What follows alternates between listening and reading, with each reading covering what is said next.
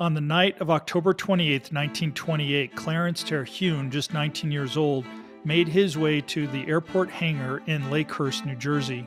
He snuck aboard the Graf Zeppelin through a mail hatch. The airship would start its trip home to Germany about 1 a.m. with a stowaway on board. Clarence was discovered in the mailroom later that day.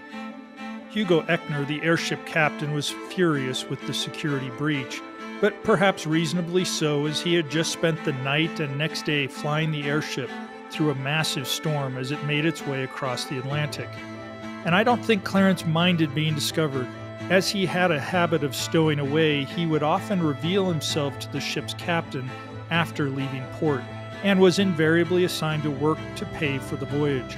But sneaking into Germany would have different consequences.